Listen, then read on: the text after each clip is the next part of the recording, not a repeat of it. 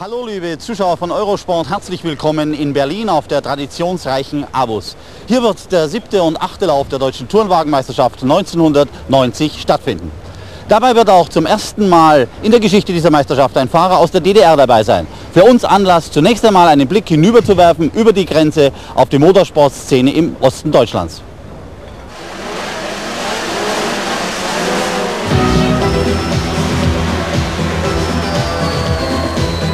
Motorsport in der DDR, das ist Sport mit Trabis, Ladas oder Monoposti, die drüben A1600 bei uns einfach Formula Eastern genannt werden.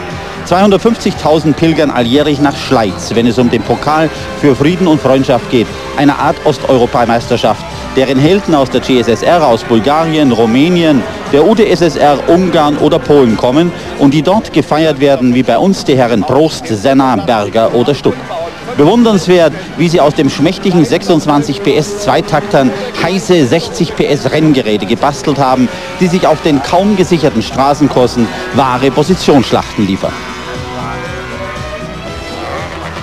Einer von ihnen ist Klaus Golge, der sein Renngerät, einen 1,6 Liter Lader, in dieser Werkstatt am Leben erhält.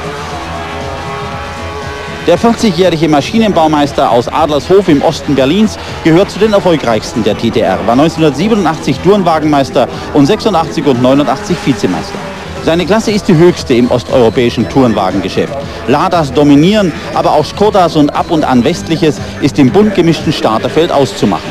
Um Rennstreckensicherheit, Fangzäune oder Leitplanken macht man sich drüben weniger Gedanken als bei uns. Dafür gibt es Romantik und hautnahen Kontakt zum Geschehen an den traditionsreichen Straßenkursen, die fehlende permanente Rennstrecken ersetzen müssen.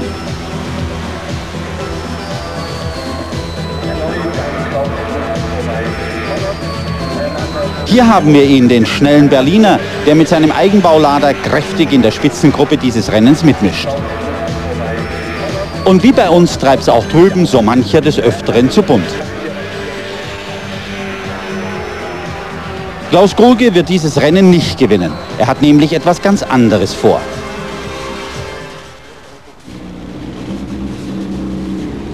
Von Ostberlins Prachtstraße fahren Rennautos auf dem Pariser Platz vor dem Brandenburger Tor. Den roten Lader erkennen Sie wieder.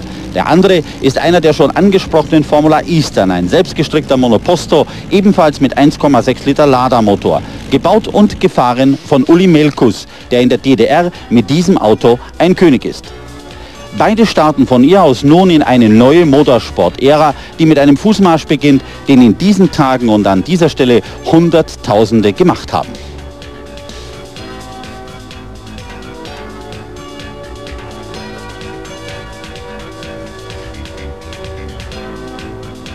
Es geht in den Westen, wo auf diese beiden Rennfahrer ein für sie sicher faszinierendes Motorsportabenteuer wartet. Als erste DDR-Fahrer starten sie in Profiteams zur deutschen Tourenwagenmeisterschaft.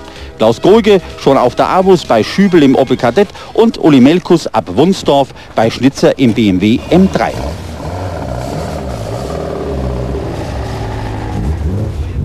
Herzlich willkommen im Westen, meine Herren. Klaus Golge, mit welchen Erwartungen gehen Sie auf die Abus? Ja, große Erwartungen kann man beim ersten Rennen, glaube ich, noch nicht stellen. Ich hoffe, dass ich mich qualifizieren kann zum Endrennen. Uli Melkus, was für Sie eine Überraschung, in so einem BMW fahren zu können? Ja, wenn man die Zeitläufe überhaupt sieht, was in dem letzten halben Jahr alles passiert ist, war es eine Überraschung. Und dass ich nach den Probefahrten jetzt auch praktisch genommen werde, das hat mich dann nicht ganz so überrascht. Ich bin von dem Auto sehr erfreut. Ich bin erfreut, wie das geht, wie feinfühlig dieses schwere Fahrzeug noch reagiert. Das hat mich sehr gefreut. Ganz schön selbstbewusst, die beiden.